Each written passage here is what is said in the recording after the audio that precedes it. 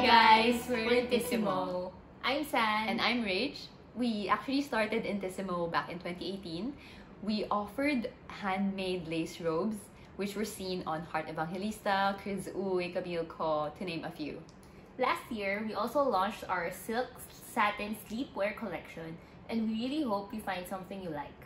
So visit us um, on booth 9001 On the first ever Bridal Pod online wedding fair, happening this February 1 to 14.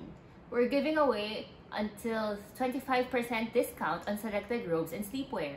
And we have um, our newly launched website, so visit www.intissimo.co and enter the Bridal Pod discount code above to get surprises.